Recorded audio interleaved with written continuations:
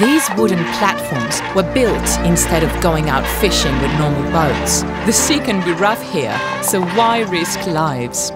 With a complicated array of ropes and pulleys, the nets are lowered as schools of fish swim across them.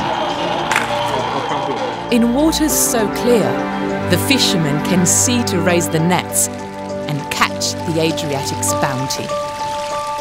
È ripresa i pesci là.